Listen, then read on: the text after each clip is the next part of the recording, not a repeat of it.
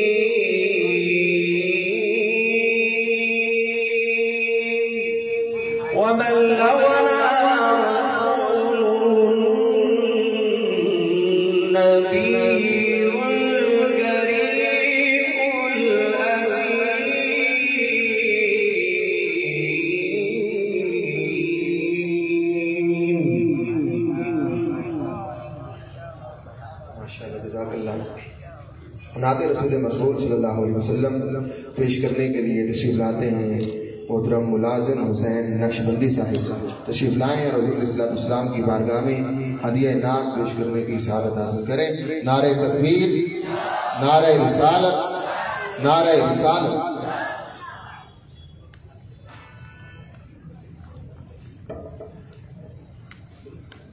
सल्लल्लाहु अलैहि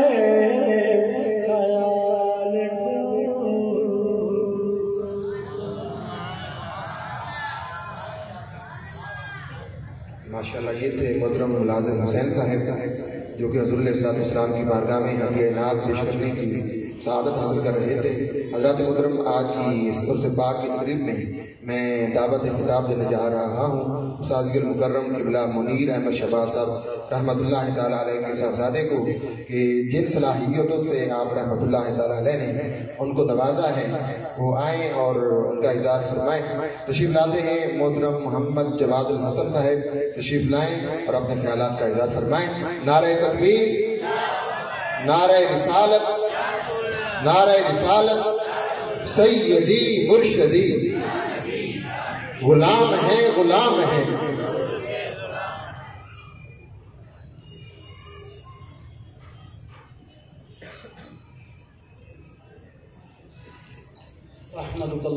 अल्लाहुम्मा या मुजीब कुल्ली साइलिन वस्सलातु वस्सलामु अला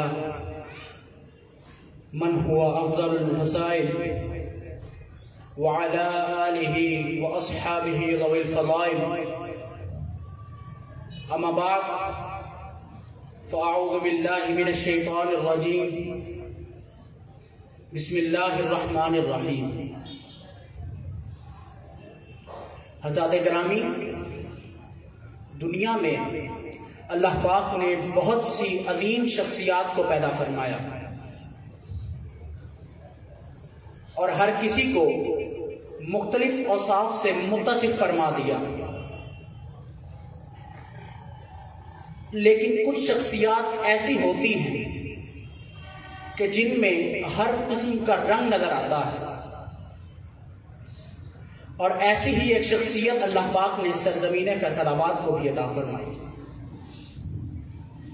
कि जिसको बतौर आशिक रसूल के तौर पर देखे तो वो हस्ती दर्जाए कमाल पर नज़र आती। कि जिसको दुनिया ने बतौर मुहाफिज खत्म नबूवत देखा, तब भी वो दर्जाए कमाल पर नज़र आई। जिनको बतौर उस्ताद देखा तब भी वो अजीम दर्जा पर नज़र आए। कि जिनको बतौर मुबल्लिग देखा, बतौर मुकर्रिर देखा, बतौर खतीब देखा, बतौर बाप देखा, बतौर भाई देखा अलगज जिस भी मकाम पर देखा, जिस भी मनसब पर देखा, वो हस्ती कमाल दर्जा की बुलंदियों को अबूर करती हुई नज़र आई वो हस्ती कि जिसने सरजमीन फैसलाबाद को एक ऐसा फर्जंद अदा किया कि जिसने अपने उस्ताद के नक्शे कदम पर चलते हुए उस शाकान रसूल को हजूर से इश्क करने का सही सलीका सिखा दिया। उसने बता दिया कि अपने उस्ताद का अदब किस तरह करते हैं, उस्ताद से प्यार किस तरह करते हैं, उस्ताद के हुक्म की तामीर किस तरह करते हैं। कि जिन्हें प्यार को देखने से लगता था कि जैसे ख्वाजा निजामुद्दीन औलिया का, ख्वाजा अमीर खुसरू और ख्वाजा अमीर खुसरू का, ख्वाजा निजामुद्दीन औलिया से वालेहाना प्यार और वालेहाना मोहब्बत थी। वो हस्ती कोई और नहीं। वो मेरे शेर, मेरे मुरब्बी, मेरे मुर्शिद, हज़रत अल्लामा साहिबजादा किबला पीर सैयद हिदायत रसूल शाह ताला अलैह। और वो फर्जन जो उन्होंने सरजमीन फैसलाबाद को अता किया, जिसको शागिर्द खास, शागिर्द रशीद भी कहा जाता है, जिनका नाम हज़रत अल्लामा किबला मुनीर अहमद शहबाज कादरी अलैह। मौलाना हाली फरमाते हैं कि उसके जाते ही ये क्या हो गई घर की सूरत? उसके जाते ही ये क्या हो गई? घर की सूरत, न वो दीवार की सूरत है, न दर की सूरत। एक बुनियादी जबता पेश करता हूँ। उसकी वजाहत में चंद बातें पेश करूँगा जबता यह है कि इंसान को संवारने में, निखारने में, या यूँ कहें कि इस दो टांगों वाले जानवर को इंसान बनाने में जो सबसे मौसर शय है सबसे असरअंदाज शय है, वो है सोहबत। क्या है? अगर इंसान बनता है ना तो किताबों के मुताला से नहीं, लाइब्रेरियों में बैठने से नहीं हाँ किताबों के मुताले से बंदा आलिम बन जाता है। यूनिवर्सिटियों में जाने से बंदा डिग्री होल्डर बन जाता है, मगर इंसान नहीं बनता। वो सुल्तान बाबू ने फरमाया कि इल्म पढ़िया पर अदब ना सीखिया कि लेना इल्म पढ़ के तो किताबों को पढ़ने से, दानिशगाहों में जाने से, मदरसों में जाने से, तालीमी इदारों में जाने से इल्म मिलता है, मालूमात मिलती हैं, जहन खुलता है, महारतें मिल जाती हैं, मगर इंसान नहीं बनेगा तो बोलिए, इंसान को सवारने में सबसे मौसर शय क्या है? सोहबत। क्योंकि सवारती है सोहबत, निखारती है सोहबत। या यूँ कहें कि इस दो टांगों वाले जानवर को ना रिश्ते मलाइका बनाती है तो किसी मर्द कामिल की सोहबत बनाती है।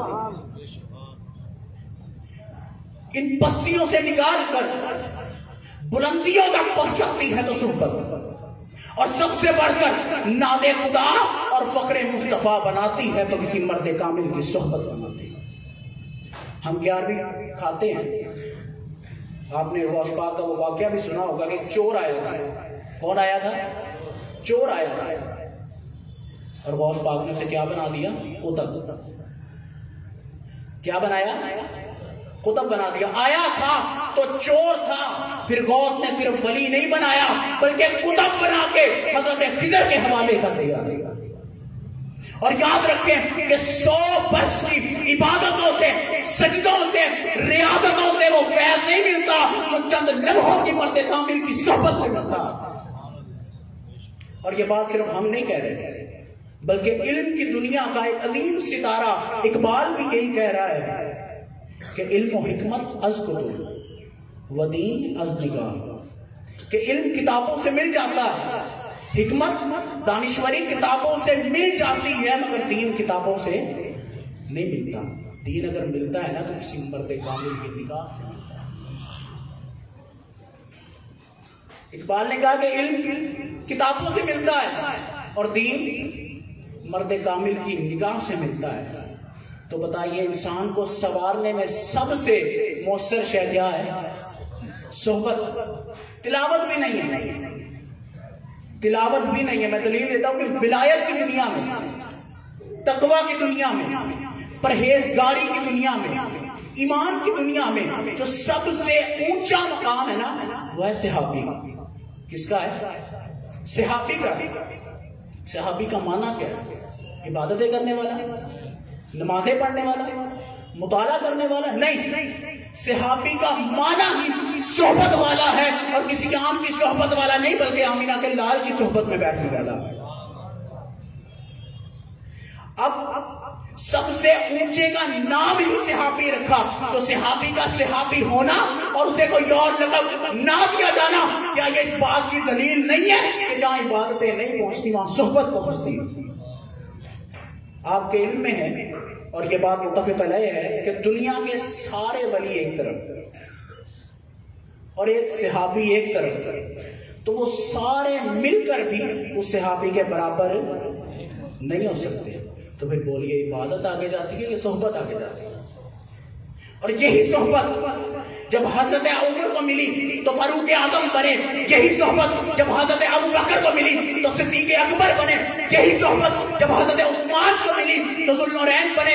यही सोहबत, जब हज़रत अली को मिली तो हैदर करदार शेर खुदा बने। और यही सोहबत, जब दादा के दर पर बैठकर ख्वाजा मोइनुद्दीन अजमेरी चिश्ती को मिली तो फरमाया, कंच बख्शे, फैद आलम मदहरे पूरे खुदा। ना तो सारा पीरे कामिल कामिल आ रहा और यही मर्द कामिल की सोहबत, जब इस फर्जंद को मिली ना तो वो सरजमीन फैसलाबाद का एक जगमगाता हुआ सितारा, हज़रत अल्लामा मुनीर अहमद शहबाज कादरी रहमतुल्लाह ताला अलैह और वो मर्द कामिल कोई और नहीं थे। वो मेरे शेख मेरे मुरब्बी मेरे मुर्शिद, हज़रत अल्लामा किबला साहिबजादा पीर सैयद हिदायत रसूल ताला अलैह। तो बताइए, इबादत आगे जाती है या सोहबत आगे जाती है? सोहबत आगे जाती है। अल्लाह पाक हमें अपने नेक बंदों की सोहबत में बैठने की तौफीक अता फरमाए, वमा अलैना इल्लल बलाग नारे तकबीर, नारे रिसालत नारे रिसालत, नारे हैदरी हाजिर मुकर्रम। आज मुझे वो ज़माना याद आ रहा है कि जब इसी दरसगाह में किबलाकारी करामत अली नईमी साहब रहमतुल्लाह ताला आकर तिलावत कलाम मजीद से हमारे दिलों को मुनव्वर फरमाते थे। तो साजी मुकर्रम किबला मुनीर अहमद शहबाज साहब रहमत आप फरमाया करते थे कि जब कारी साहब तिलावत करते हैं तो यूँ महसूस होता है कि कारी साहब की कमर पर किसी अल्लाह के वली का हाथ है, किसी दरवेश का किसी सूफी का हाथ है। अब मैं जिस शख्सियत को दावत तिलावत दे रहा हूँ, इन्हें भी कुरान पाक की तिलावत करने में सानी कारी करामत अली नहमी अलैह कहा जाता है। तशरीफ़ लाते हैं जीनत हुफाज, जनाब मोहतरम कारी नफीस आसिफ नईमी साहब, जो कि फाजिल हैं दारुल नूरिया रिजविया के। तशरीफ़ लाए हैं और कुरान पाक की आयात बैनात की तिलावत से हम सबके कुलूब अजान को मुनवर फरमाएँ।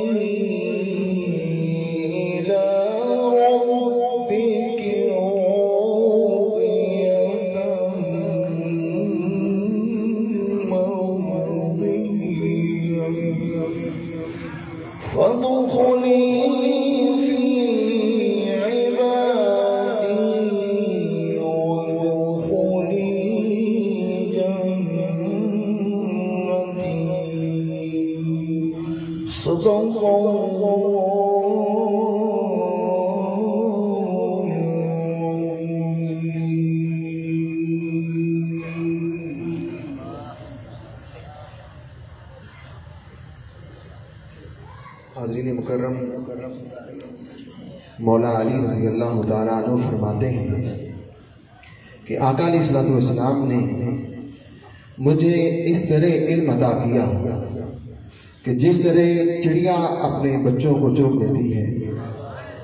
अब मैं उस नाथ खान को दावत नात दे रहा हूँ। जिन्हें किबला शाह साहब रहमतुल्लाह ताला ने अपने साथ महफिलों में नात सुन सुन कर और हिदायत की चौक खिला खिला कर नात के मैदान में जमा किया है। तशीफ लाते हैं मोहतरम हफीजुल्लाह कादरी साहब। तशरीफ़ लाएँ और हजूर इस्लाम की बारगाह में हदिया नाक पेश करने की सादत हासिल करें। नारे तकबीर, बुलंद आवाज़ से नारे तकबीर, नारे रिसालत, सैयदी मुर्शदी।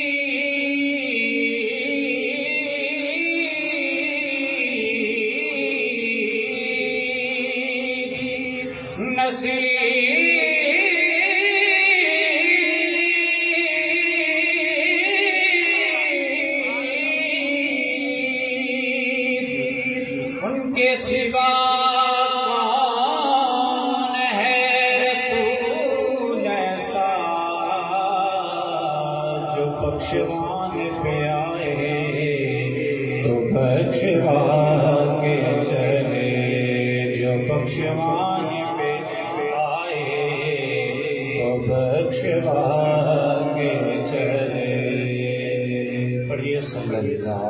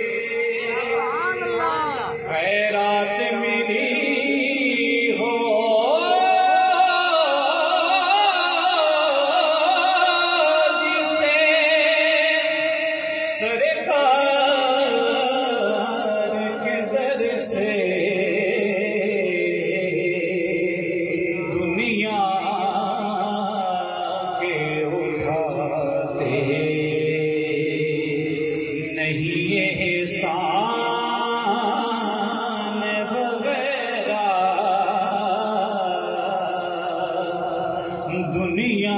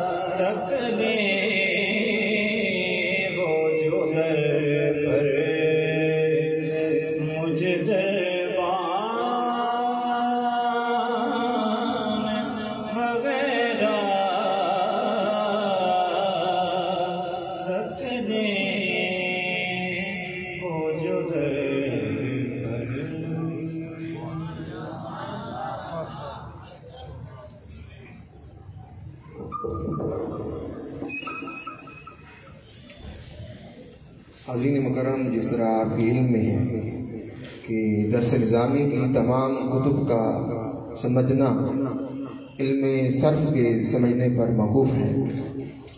उसादगी मुकरम किबला मुनीर अहमद शबाज साहब अलैह ना सिर्फ़ अच्छे मुंतजिम थे, बल्कि इंतहाई आला किस्म के मुदरस भी थे। आपके पास तदरीस के लिए जो किताबें थी, वो इल्म सर्फ की थी।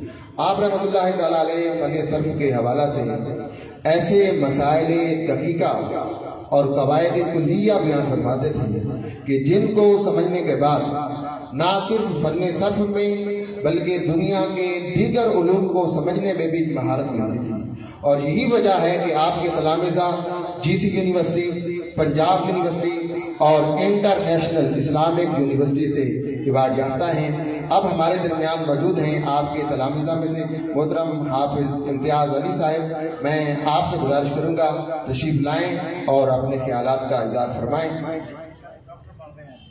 जो कि ये भी पीएचडी कर रहे हैं, डॉक्टर बन रहे हैं, अल्लाह पाक इनके इलम में मजीद बरकतें अदा फरमाए। मोहतरम हाफिज इम्तियाज़ अली साहब।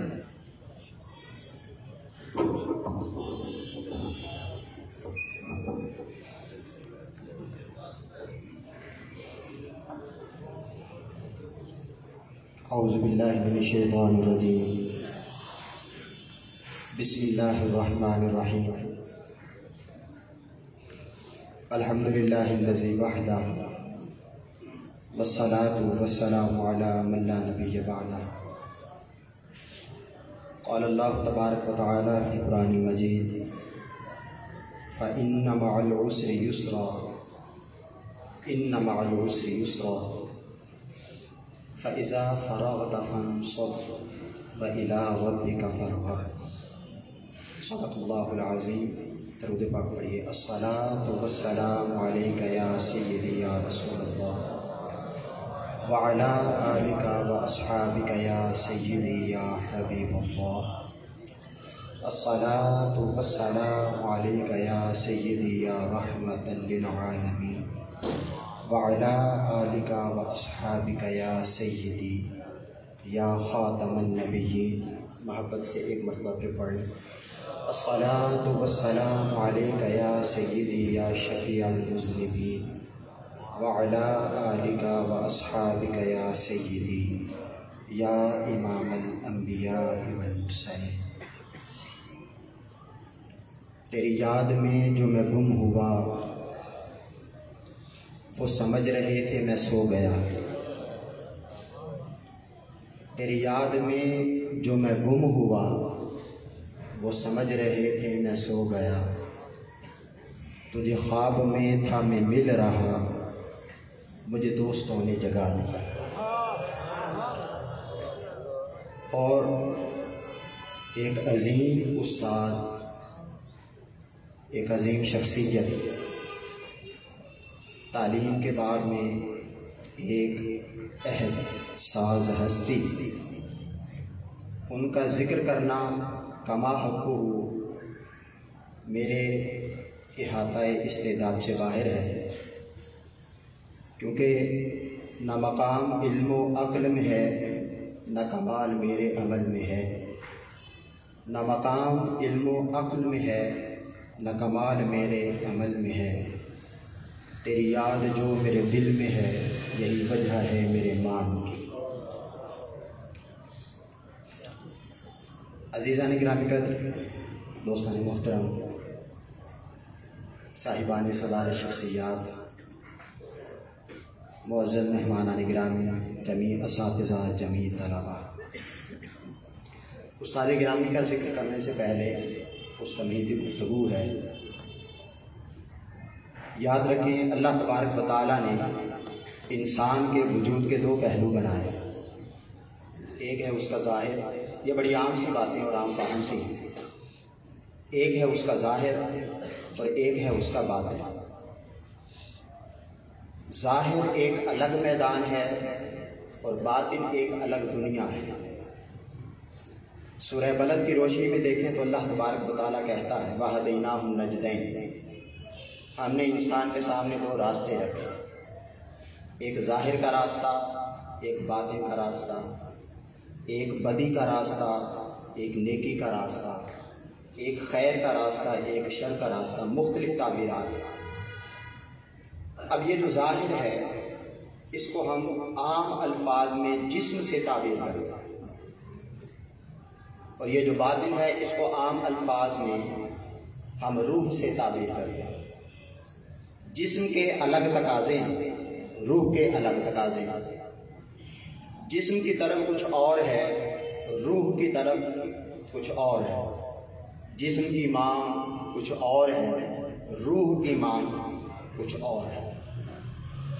अल्लाह तबारक बताला ने इंसान को उसकी औकात में रखने के लिए मुख्तलिफ़ तरह की हदूद इंसान के जिस्म के ऊपर कायम फरमाया इंसान चाह कर भी उन हदूद से बाहर नहीं जा सकता। और जब वो हदूद अपनी आई पर आती हैं तो इंसान जितना भी बड़ा, जाबिर और काहिर हो, ताकतवर हो, उन हदूद के सामने बेबस हो जाता है।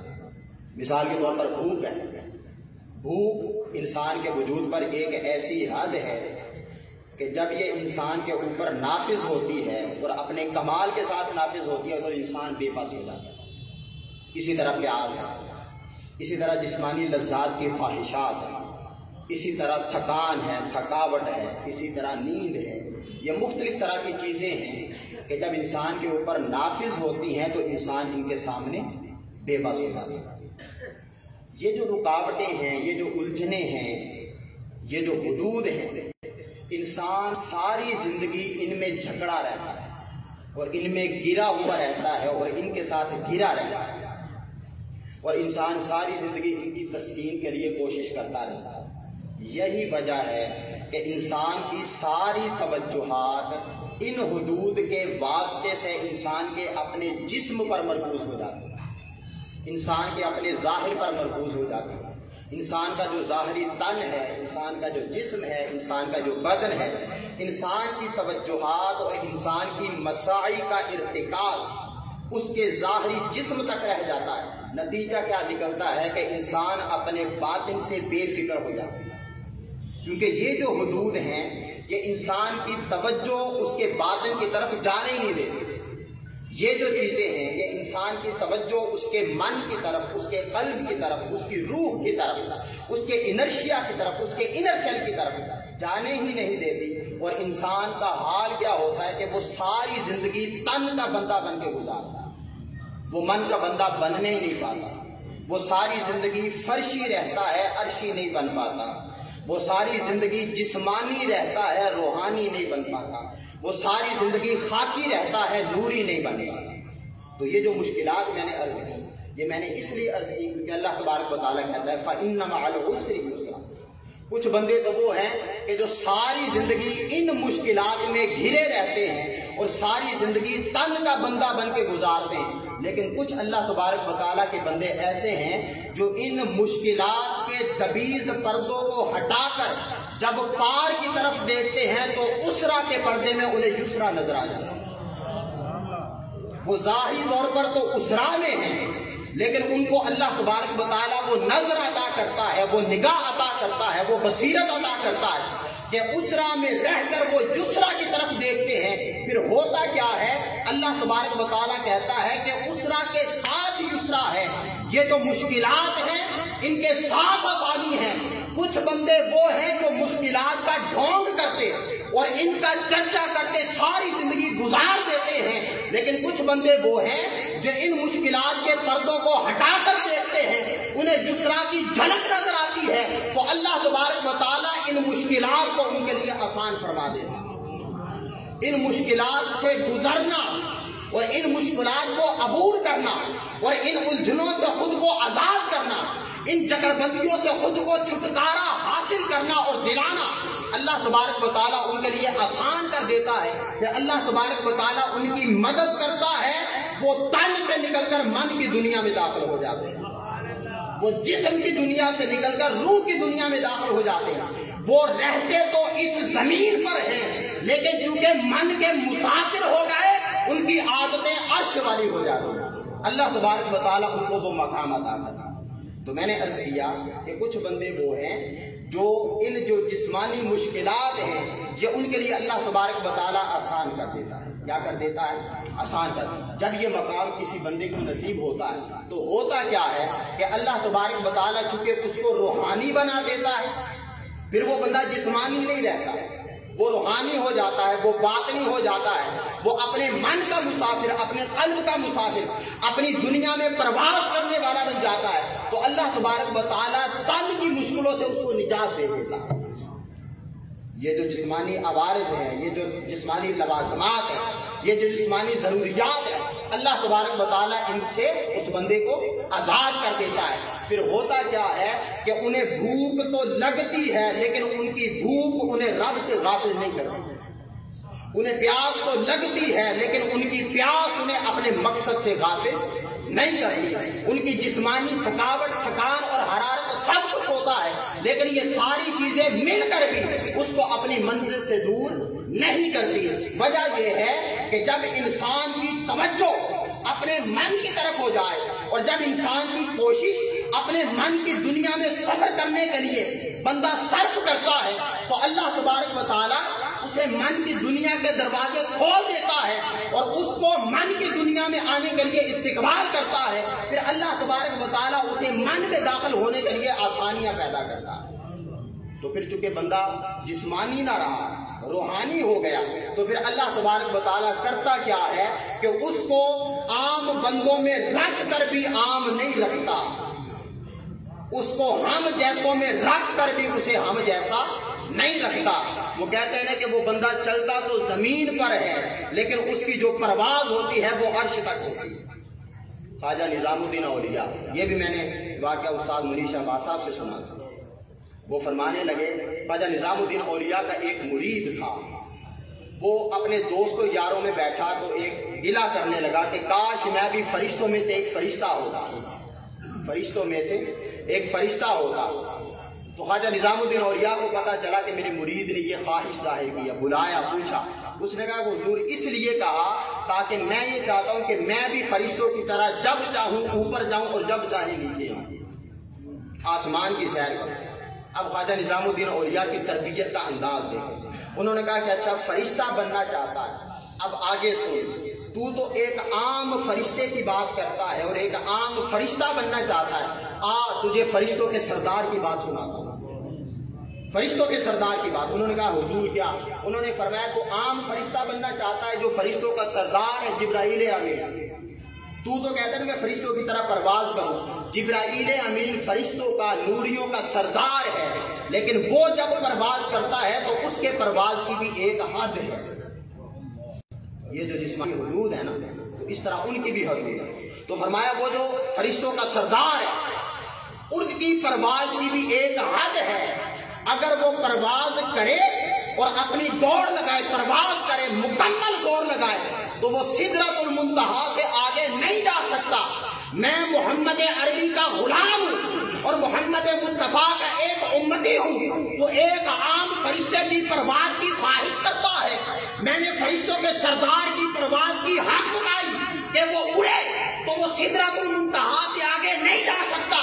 मैं मोहम्मद मुस्तफ़ा का गुलाम, निजामुद्दीन औलिया बैठा ज़मीन पर हूँ। लेकिन जब मैं परवाज करता हूँ तो सिदरतुल मुंतहा से भी आगे गुजरता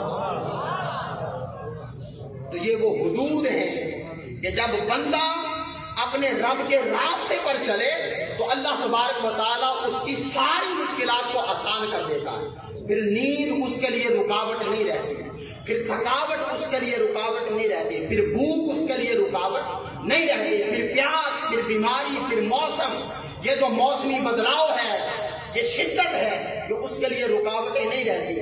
यही चीज़ हमने उस्ताद मोहतरम मौलाना मुनीर अहमद शहबाज साहब में दी आप अगर ये जो पुराने स्टूडेंट्स हैं, अगर ये पुराने दौर में जानकर देखें तो आप देखेंगे कि किबला मुनीर अहमद शहबाज साहब, उनको अल्लाह तबारक वाली ने वो जिगरा अदा किया था और वो बसीरत अदा की थी और उनकी रूह को वो ताकत अदा की थी कि उनके सामने भूख भी कुछ नहीं थी, उनके सामने प्यास भी कुछ नहीं थी। ना उनको कभी थकते देखा, ना उनको बीमारी की वजह से अपनी जिम्मेदारियों से आज़ाद होने की ख्वाहिश करते देखा। जब दफ्तर की तरफ़ से, किबला शाह साहब की तरफ़ से इशारा होता था, ना उनको मौसम रोक सकता था, ना उनको भूख रोक सकती थी, ना उनको प्यास रोक सकती थी, ना उनको थकावट रोक सकती थी, ना उनको बीमारी रोक सकती थी, सारी रुकावटें अबूर करके वो अपने फ़र्ज़ की तकमील के लिए निकलते थे। अगरचे जिसम बीमार भी हो, लेकिन मुनीर अहमद शहबाज अपना फ़र्ज़ अदा कर रहा है। अगरचे भूख भी लगी है, मुनीर अहमद शहबाज साहब अपना फ़र्ज़ अदा कर रहे हैं। अगरचे प्यास की शिद्दत है, मुनीर अहमद शहबाज साहब को देखो, वो अपने मनसब पर बैठे हैं, पढ़ा रहे हैं, बच्चों को सिखा रहे हैं, बच्चों को तरबियत कर रहे हैं, उनके किरदार को संवार रहे हैं, उनकी तरबियत को मेराज के तक पहुँचाने के लिए कोशिश कर रहे हैं। वजह यह है कि उन्होंने अपने आप को तन की मुश्किल से आज़ाद किया।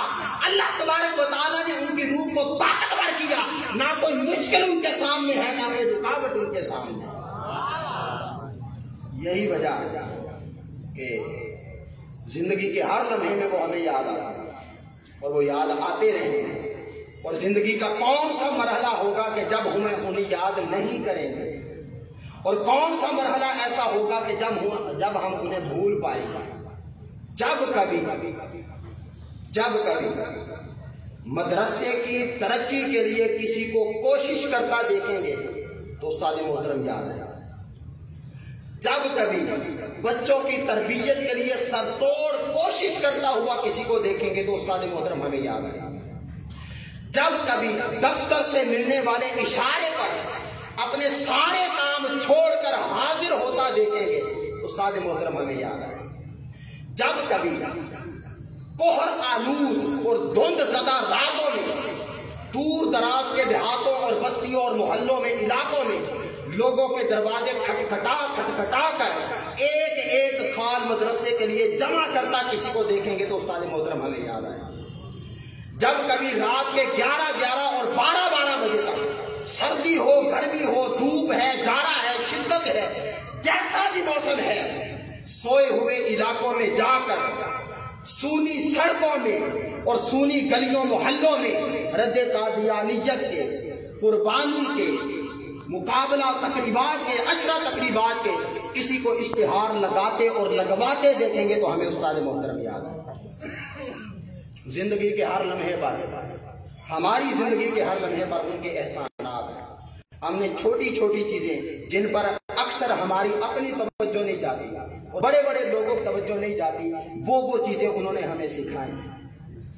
अब चूँकि बात छिड़पकी पड़ी तो हत्या कि आपको बताऊँ, जब तरबियत की बात होती है तो जो एक मुरब्बी होता है, वो अपने बच्चों की तरबियत के लिए किस हद तक गौर फ़िक्र करता है? उन्होंने हमें ये भी बताया कि बेटा, अगर लिबास पहनना है तो कैसे पहनना? है उन्होंने हमें यह भी बताया कि अगर किसी मजलिस में जाकर बैठना है तो अपने कपड़ों को कैसे सीधा करके बैठना है? उन्होंने हमें यह भी सिखाया कि जब डाइस पर खड़े होना है, किसी से हम कलाम होना है तो पहले अपने कपड़ों को कैसे दुरुस्त करना है? उन्होंने हमें यह भी बताया कि किस मजलिस में जाओ तो कैसा लिबास पहनो और किस मजलिस में जाओ तो कैसा लिबास पहनो।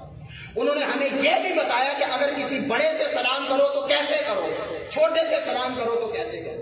किसी दुनियादार से मिलो तो कैसे मिलो? किसी दीनदार से मिलो तो कैसे मिलो?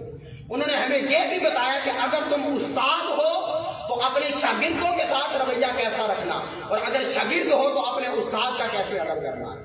उन्होंने हमें यह भी बताया कि रास्ते में चलो तो किस अंदाज से चलना? है उन्होंने हमें यह भी बताया कि अगर वॉशरूम में जाओ तो दाखिल कैसे होना है? वॉशरूम से निकलो तो निकलना कैसे? किस हद तक अपने बच्चों की तरबियत के लिए वो कोशा थे और किस हद तक यकसुई के साथ और मेहनत के साथ अपने बच्चों की तरबियत के लिए वो कोशिश कर रहे थे, सरतोड़ कोशिश कर रहे थे।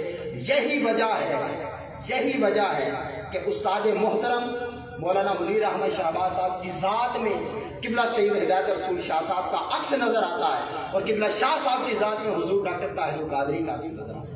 ये फैज का एक सिलसिला है, एक चेन है, जो वहाँ से चली और हम तक पहुँची और इन इस के ज़रिए अगली नस्लों तक पहुँचती जा रही अल्लाह तबारक वाली से दुआ है कि अल्लाह तबारक वाली उस्ताद ग्रामी के कब्र अनवर पर करोड़ हा लकूक हा अरब हा और बार हा रहमतों का नजूर फरमाए। इबला शाह साहब रहमत ने उनका फैज़ हमारे लिए जारी सारी फरमाए। कारी मोहम्मद सिद्दीक कादरी साहब अलैह। उनका फैज़ हमारे लिए जारी व सारी फरमाए। किबला शुजात रसूल शाह साहब, उनका फैज़ हमारे लिए जारी व सारी फरमाए। जितने बुज़ुर्ग इस इस इदारे के इस दुनिया से तशरीफ़ ले गए सब का फैज़ हमारे लिए जारी व सारी फरमाए। आखिर में एक गुजारिश चुके, इदारे की तमीर नो होने की जा रही है तो उस हवाले से गुजारिश है और ख्वाहिश है कि हमारे जितने भी इस दुनिया से तशरीफ़ ले जा चुके हैं उनके नाम को खराज तहसीन पेश करने के लिए उनके नाम के ब्लॉक्स बनाए जाए। हमारा इदारा जो नया बनेगा, इसमें ईवान कायम किया जाए। ईवान किबला पीर सईद ईवान सरफ, किबला उस्ताद ग्रामी मौलाना मुनीर अहमद शाह ईवान फारसी किबला कारी मोहम्मद सिद्दीक कादी साहब। ईवान तजवीद, ईवान हिफ्स ईवान किरा ईवान जितने भी इस दुनिया से तशरीफ़ ले गए, ताकि आने वाली नस्लों को पता चले कि इस इदारे को, इस मकाम तक लाने के लिए किन किन इस ने सर तोड़ कोशिश की और अपनी ज़िंदगी का नजराना अल्लाह तबारक वाली हम ज़मीन शगिरदान को अपने इस के एहसानात याद रखने की तोफ़ी अता फरमाए। इस इदारे के साथ मुखलिस रहने की तोफ़ी अता फरमाए और दुनिया में जाकर इस इदारे को सपोर्ट करने और इस इदारे की मदद करने की तोफ़ी अता फरमाए। अल्लाह तबारक वाली हमारे जमी इस को सलामत रखे। आमीन। बिजाह नबी आमीन वसलम वरहमल वर्क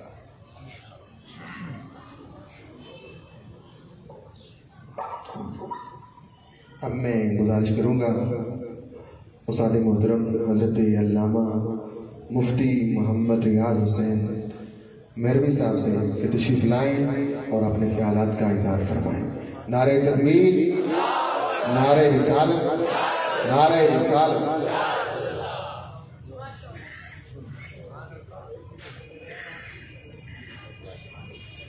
बसमीम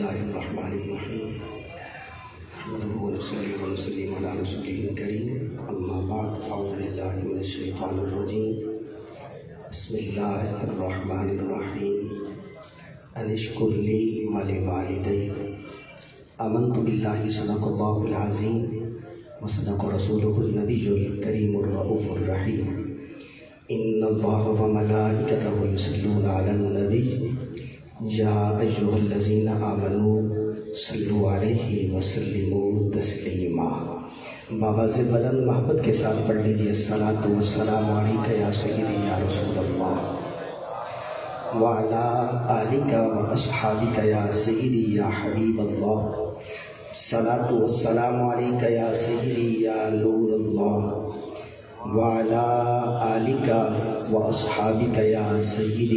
महबूब रब्बिल सबसे पहले तारीफ़ असलम यजल की, जिसने बसाते ज़मीन को बिछाया और आसमानी छत को हमारे सबों के ऊपर कायम फरमाया। और हमें प्यारे मोहम्मद मुस्तफ़ा सल्लल्लाहु अलैहि वसल्लम की उम्मत में से बनाया। दरुद सलाम उस रूह कैनात के लिए जो उठे तो फलक को उरूज मिले, जो बैठे तो धरती को सुकून मिले, जो लब ही लाए तो फूल झड़ने लगे, जो बात सुनाए तो गुलशन महकने लगे, जो सर उठाकर बोले तो कुरान बनता जाए, जो सर झुकाकर बोले तो हदीस बनती जाए। हमदो सलाद के बाद मेरे निहत ही वाजिब एहतराम किबला, पीर तरीक़त, रहबर शरीयत साहबजादा पीर सैद हिमायत रसूल शाह साहब कादरी, दामद बरकातुम लिया और पीर तरीक़त, रहबर शरीयत साहबजादा पीर सैयद शफात रसूल शाह साहब कादरी दामद बरकतम आलिया और जुमला कराम और मेरे हम मकतब, हम सफ़र साथियों, अस्सलाम वालेकुम वरहमतुल्लाहि वबरकातुहू। आज की ये बज़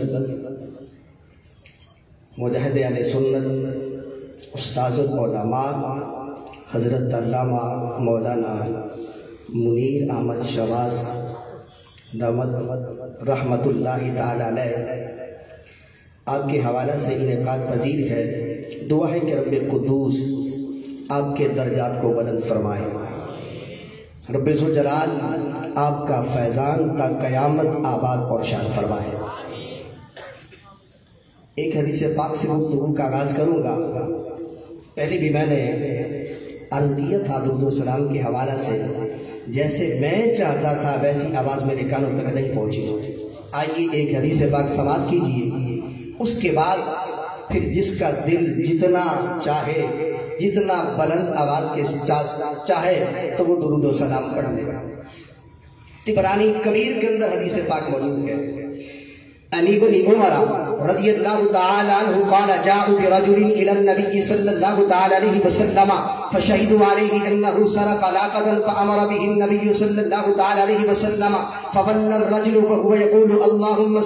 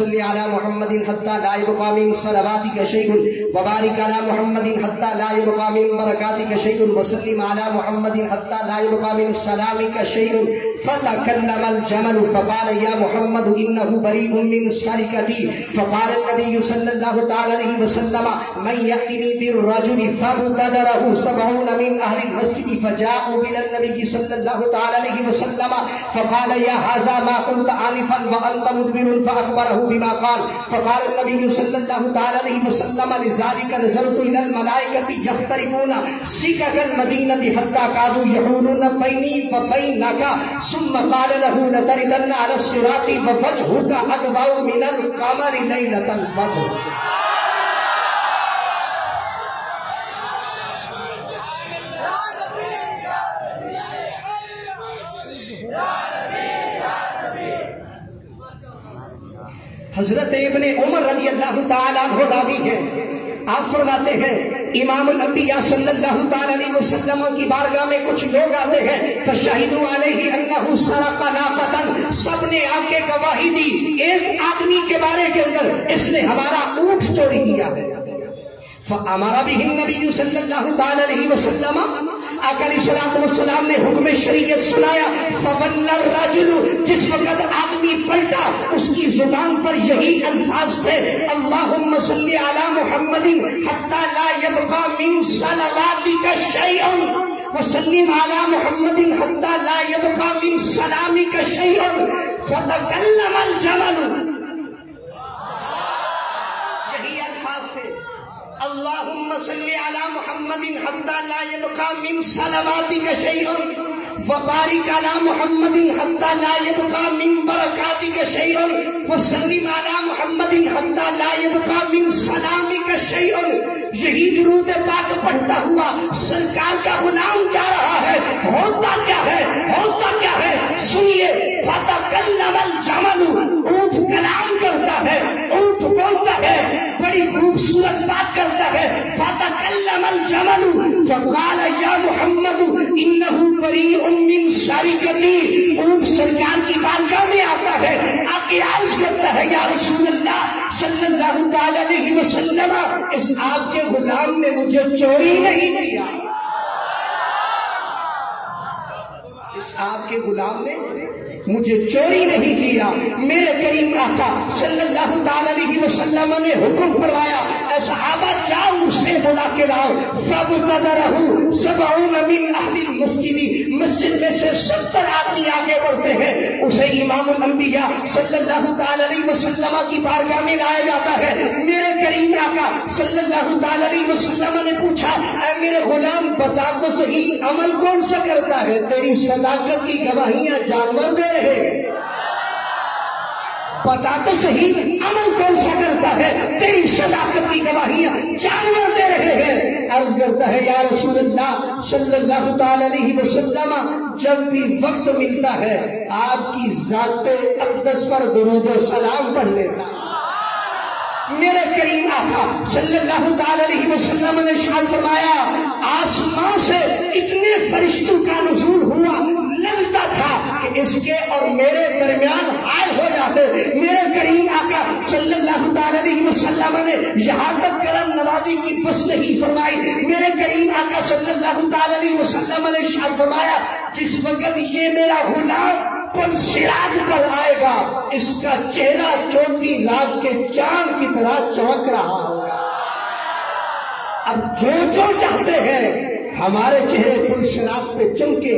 वो बुलंद आवाज़ के साथ पढ़ ले अस्सलातु वस्सलामु अलैका या सही या रसूल अल्लाह वाला आलिका व अस्हाबिका या सय्यदी या हबीब अल्लाह अस्सलातु वस्सलामु अलैका या सय्यदी या नूर अल्लाह वाला आलिका व अस्हाबिका या सय्यदी या महबूब रब्बिल आलमीन। रब्बुल जलाल ने कुरान मजीद फुरकान हमीद के अंदर इशार फरमाया, अनिशकुर ली वाली वालिदैन। मेरा शुक्र अदा करो और वालिदैन का। इमाम अहल सुन्नत, आला हज़रत अजीम और बरकत शाह इमाम अहमद रजा खा फाजल बरेलवी ताला अलैह। आप फरमाते हैं, पीर और जो इल्म दीन का मुअल्लिम है, उनका मर्तबा और मकाम जो है माँ बाप से ज़्यादा है। आप फरमाते हैं कि माँ बाप मुरब्बी बदन है, और ये मुरब्बी रूह है। अलामा शरुम बुलानी रहमतुल्लाह ताला आपने इस बात की तशरीफ़ फरमाई। आप फरमाते हैं रब्बुल जलाल ने कुरान मजीद फुरकान हमीद के अंदर वालदेन का ज़िक्र फरमाया है। ये नहीं फरमाया कि इनके मुकाबले में किसी और का मकाम ही नहीं है। रब्बुल ने कुरान मजीद के अंदर उनका ज़िक्र फरमाया है। ये नहीं फरमाया, उनके बराबर कोई जात ही नहीं है। आप फरमाते हैं कि रब्बुल जलाल ने कुरान मजीद फुरकान हमीद के अंदर जो इशाद फरमाया है अनिश्कुल्ली वाली वाली दई अपने शुक्र के साथ वालदेन के शुक्र की तलकीन फरमाई है। आप फरमाते हैं, असल बात यह है कि जो दीन की तालीम देना किसी को दीन पढ़ाना, किसी को सिखाना, इतनी बड़ी नेमत है उसका शुक्र कतान फ़र्ज़ है। तो पता ज़रूरी है कतान फ़र्ज़ है। फरमाते हैं, मगर बात यह है कि उस चीज़ का शुक्र जो है, बेआईन ही रब्बुल जलाल का शुक्र किसी ने किसी को दीन की तालीम दी है, इल्म पढ़ाया है उसका शुक्र अदा करना बेआईनी ही खुद जलाल का शुक्र है। आप फरमाते हैं, अगर ये ना हो तो फिर वालदेन का हक जो है वो नबी से बढ़ जाए।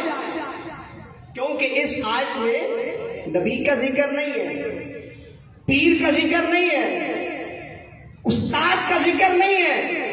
आप फरमाते अगर ये माना मुराद ना लिया जाए फिर वालदेन का हक नबी से बढ़ जाता है, क्योंकि इस आयत में नबी का लफ्ज नहीं है। इससे पता ये चलता है, जो हमारे इस है, उनका मरतबा, उनका मकाम जो है, हमारे वालदेन से भी बढ़कर है। आज के दौर में किसी ने किसी से कुछ सीखा। नाजरा कुरान पाक पढ़ा है, यूज़ किया। बाद लोगों के जहनों के अंदर एक सवाल होता है कि जो बड़े उस्ताद होते हैं, वही उस्ताद होते हैं, वो तो होते नहीं है छोटे। पाँच के जहनों में ये सवाल आ जाते हैं। लेकिन आला हज़रत अजीम बरकत शाह अहमद रजा खा फाजरे बरेली के रहम ने फतावा रजकिया जिल्द नंबर चौबीस सफ़र अब चार सौ बाईस पे। आकर सलाम की एक हदीस पाक नकल फरमाई। आप फरमाते हैं कि इमाम नबिया सल्लल्लाहु अलैहि वसल्लम ने इरशाद फरमाया, मन अल्लमा आयतम मिन तआला फहुवा मौलाहु। आप फरमाते हैं कि इमाम सल्लल्लाहु अलैहि वसल्लम ने इरशाद फरमाया कि जिसने किसी को कुरान पाक की एक आयत पढ़ाई, फहुवा मौलाहु, वो उसका आका है। और इसी जल्द में हज़रत अलीजुल मुर्तजा, शेर खुदा रज़ी अल्लाह का कौल मुबारक नकल फरमाते हैं। आप फरमाते हैं कि हज़रत अलीजुल मुर्तजा, शेर खुदा रज़ी अल्लाह ने इरशाद फरमाया, मन अल्लमनी हरफन फकद सय्यरनी अबदन जिसने मुझे एक हर्फ सिखाया। उसने मुझे अपना गुलाम बना लिया। वह इंशा अपा अगर वो चाहे तो मुझे बेच दे। वह इंशा का अगर वो चाहे तो मुझे बेच दे। अगर वो चाहे तो मुझे आज़ाद कर दे। इतना बुलंद मर्तबा और मुकाम है जो दीन का मुअल्लिम है, जो दीन की तालीम देने वाला है।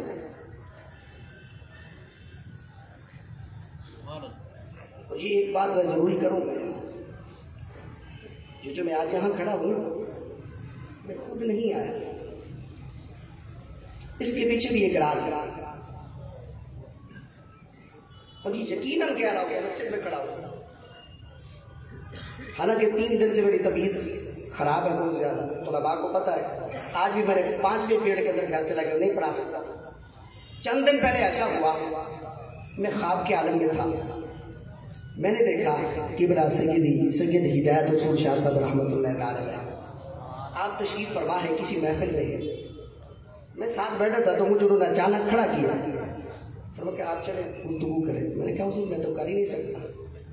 मैं तो इस काबिल ही नहीं हूँ। आप फरमाते, नहीं, आपने करनी है। तो आज वो जो ख्वाब था, ये उसकी ताबीर है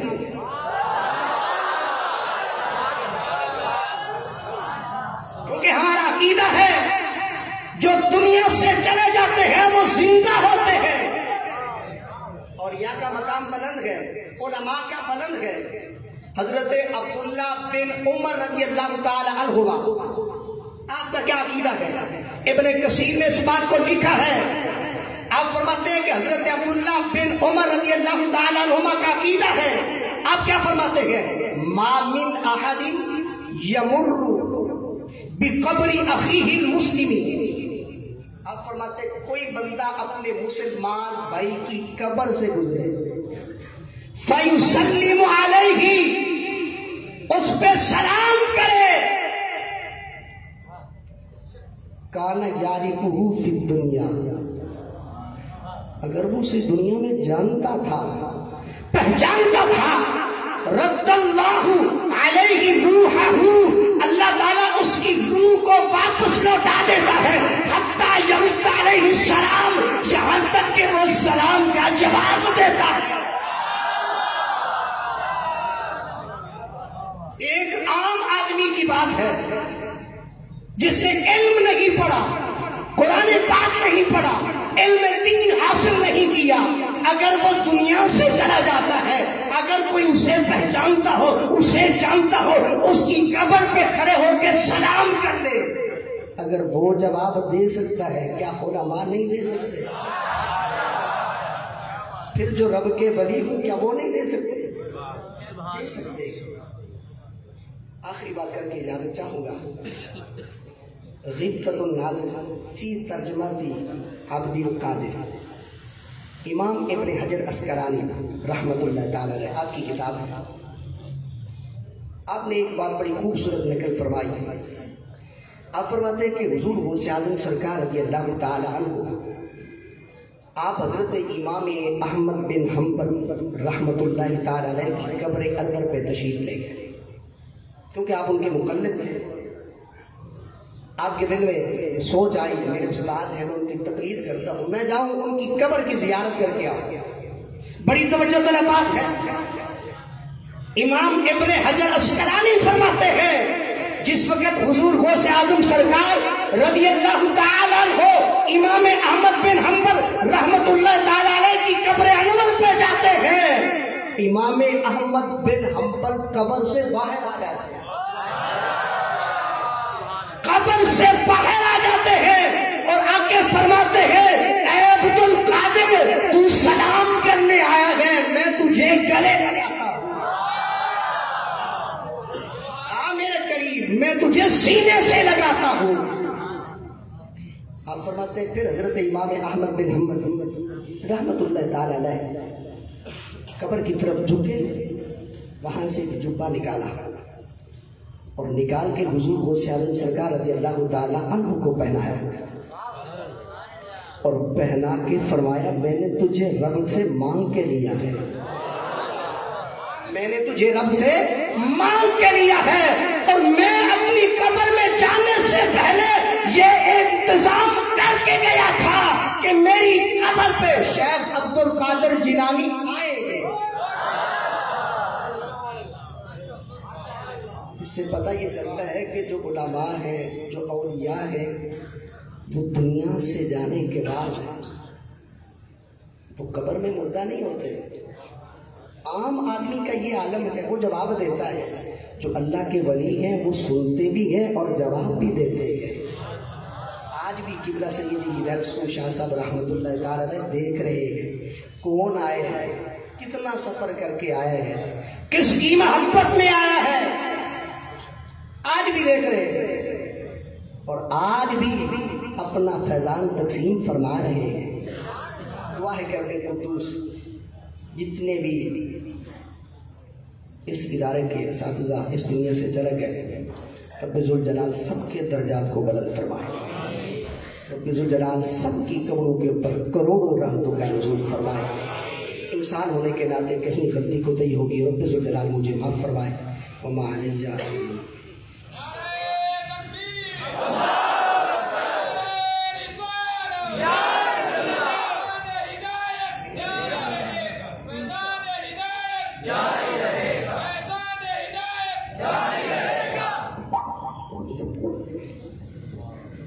हाजिर मुकरम मुआज़ ग्राम कदर में तशीफ लाए मोहतरम अल्लाह रखा नईमुल कादरी साहिब, हाफिज़ हबीब सईद साहिब, कारी मुश्ताक साहिब, गुलाम मुस्तफ़ा कमाल साहिब, मोहतरम अफजल साहिब, हाजी असलम साहिब, ख्वाजा रिहान अहमद कादरी साहिब, हाजी गुलाम मुस्तफ़ा उसाद मोहतरम फजल अब्बास साहिब उसाद मोहतरम मौलाना सजाद साहिब और हाजी सफ़र साहिब, मोहतरम हन्नान सयालवी साहिब, हम तमाम मेहमानों को दिल की अथा गहराइयों से खुश आमदीद कहते हैं। हाजरीन मुकर्रम, इस साल दारुल रिजगा के जिन तलबा ने दरस निज़ामी मुकम्मल करने के बाद दौरा हदीस शरीफ किया। अब उनकी हाथ पोशी होगी। मैं इसके लिए मैं जहमत दूँगा किबला पीर सैयद हिमायत रसूल शाह साहिब और किबला पीर सैयद शफात रसूल शाह साहब से कि तशरीफ़ लाएँ और हार पोशी के ज़रिए इन तलबा की हौसला अफजाई फरमाएँ। कराम अपने नाम समात फरमाते जाएँ और जल्दी से तशरीफ़ लाते जाएँ। मोहम्मद इफ्तार अहमद कादरी, मोहम्मद सैद रसूल, मोहम्मद आफ्ताब शाकिर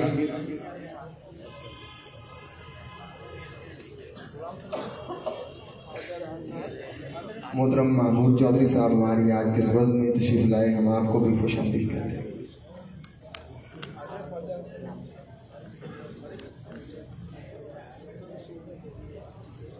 मोहम्मद असगर अली कादरी साहिब।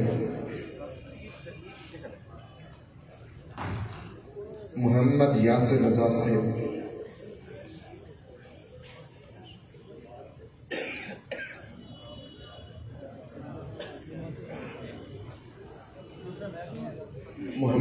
इस्माइल साहिब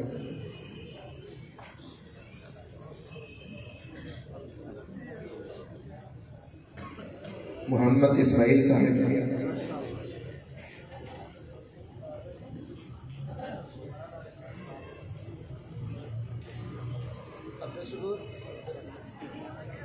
मोहम्मद इस्माइल साहिब। मोहम्मद इसार साहिब।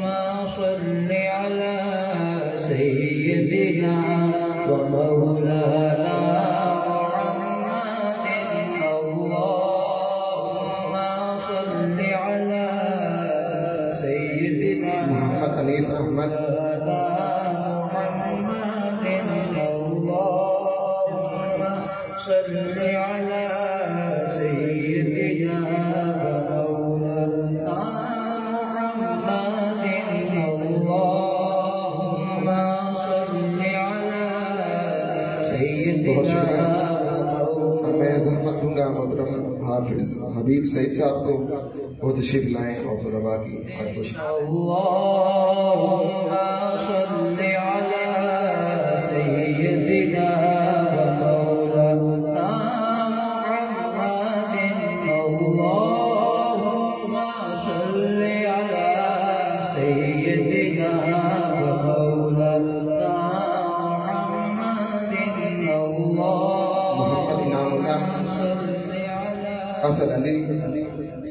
अली रजा शबरेज बहुत शुक्रिया। अब मैं जहमत लूँगा मोहतरम कारी मुश्ताक साहब से कि वो तशरीफ़ लाए और तलबा की हर खुशी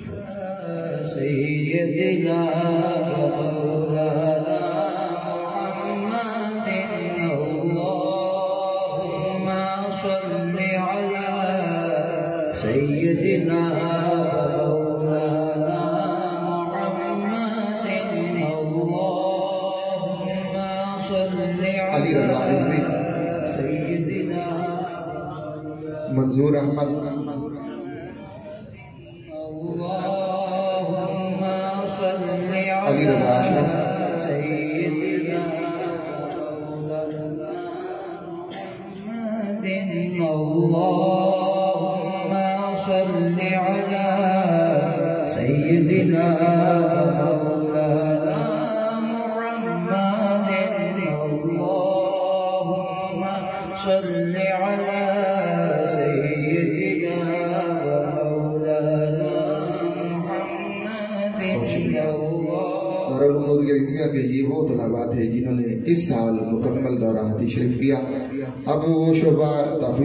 के तो तलबा जिन्होंने इस साल मुकम्मल कुरान पाक हिज किया, अली हसन साहब हाँ तशरीफ़ लाए।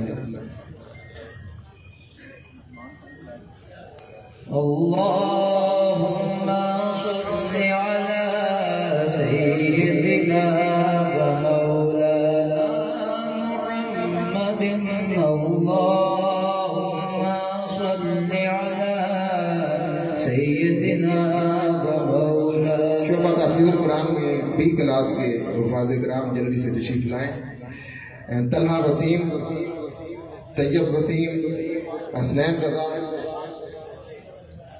मैं अब जहमत दूँगा, मुहतरम गुलाम मुस्तफ़ा कमाल साहब को तशीफ लाएँ।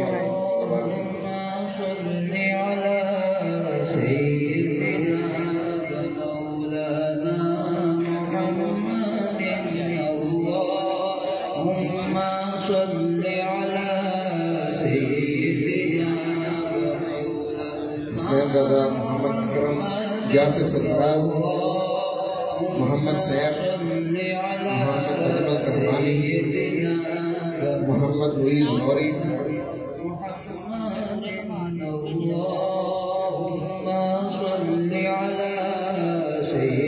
बहुत शुक्रिया मैं जहमत दूँगा मुद्रम महमूद साहब को। वो तो तशीफ लाए। मुद्रम मोहम्मद असगर साहब।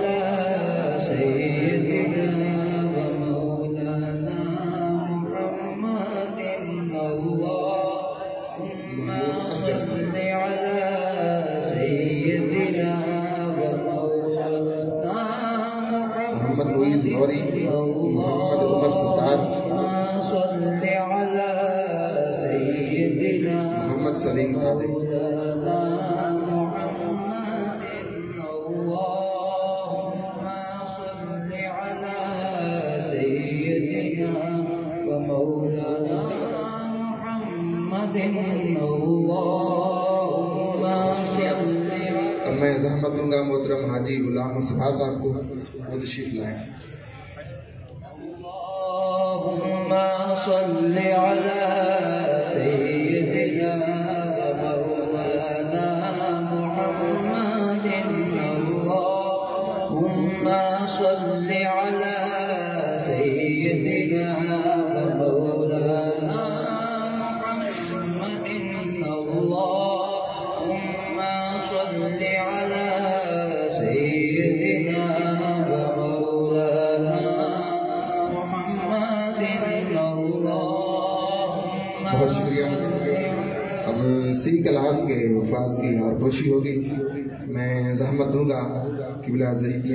शान बुखारी साहब को वो तशरीफ़ लाएँ और दुलबा के यहाँ खुश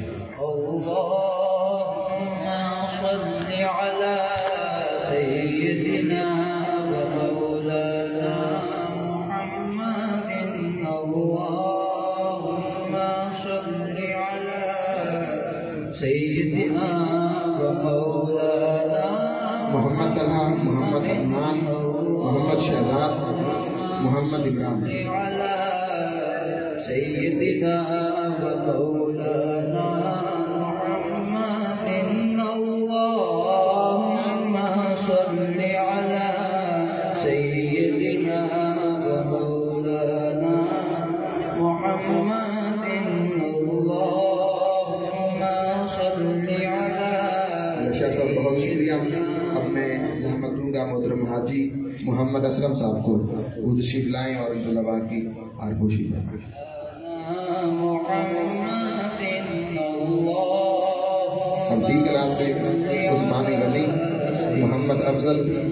हाफिज अब्दुल रहीम आबिश रजा।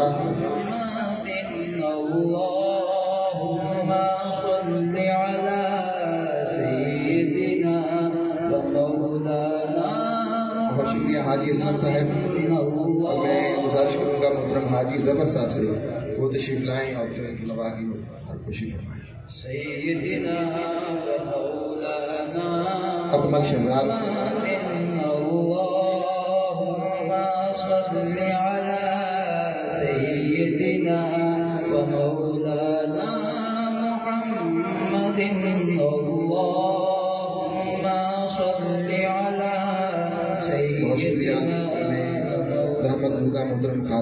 रेहान साहब को वो तशरीफ़ लाए, हम इन दबा की दोषी के ज़रिए फरमाएँ। क्लास से वसीम अक्रम मोहम्मद अयूब जवाद हाशिम अली हसन अब्दुल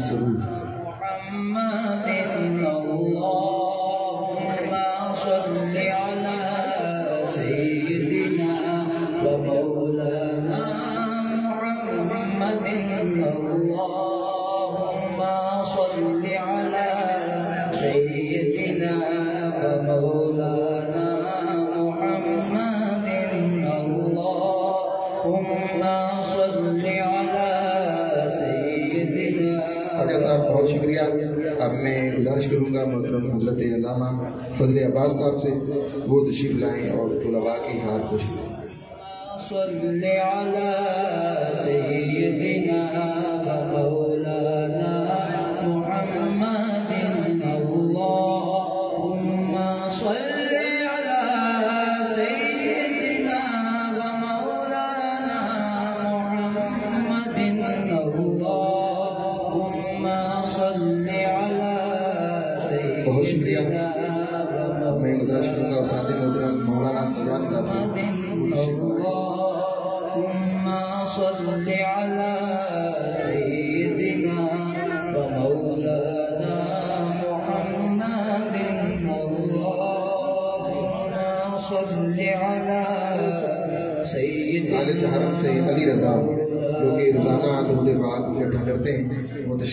hassan raza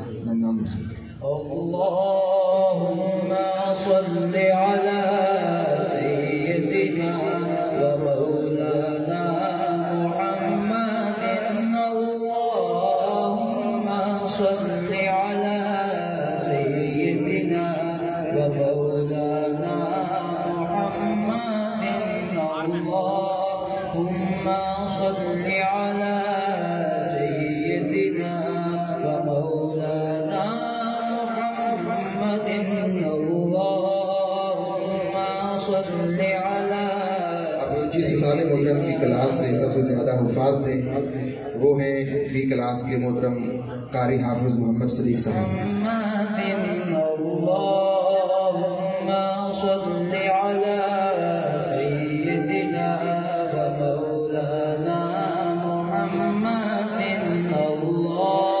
इनकी क्लास के ग्यारह लड़कों ने इस साल मुकम्मल करने पाक किया है।